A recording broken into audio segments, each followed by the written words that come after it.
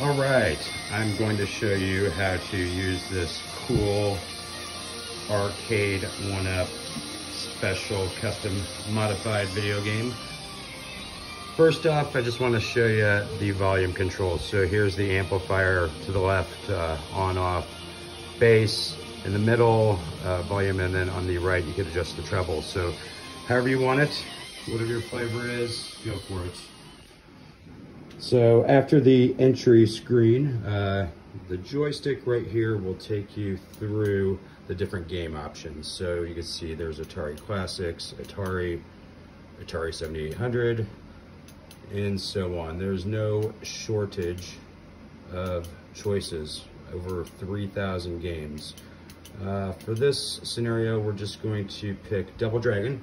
So once you've selected uh, the category that you want to look through, you just hit the forward button right there. We're gonna go ahead and do that.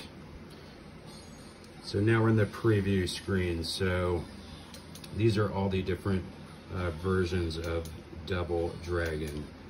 Uh, I think we're gonna pick the classic here, Double Dragon 2. So to move forward on the game, once you select it, you're gonna again hit the forward button there. Let's go ahead and do that. So this is uh, an emulator, so you have to give it just a moment to, to load. There's really not much more to it. I'm just going to show you what you do to get started, uh, and then if you want to go back and cycle through more games. So sometimes it's going to say insert coin, and you're just going to hit this button here to the left of the player one, and you can see credit two, three. So some games do that. They want that. So if it's asking for that, just that's your uh, free quarters there.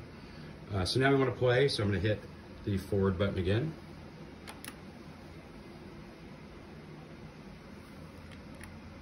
Oh, sorry, I'm going to hit the one player button, the one player button. So I think we are, yep, here we go. So let's see, this is me. I'm getting beat up. Okay, so I don't want to play Double Dragon 2 anymore. What I'm going to do is I'm going to hit these two buttons, player one, or one player, and then the button to the left simultaneously. Let's do that. Press hold.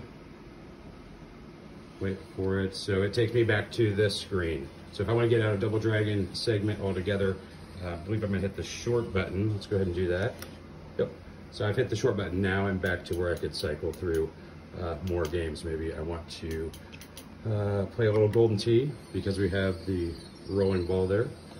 Uh, so a lot of old games, a lot of old golf games here.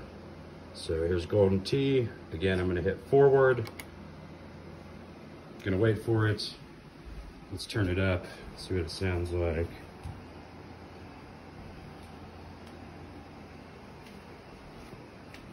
Okay. Well, here we go, it's loading system.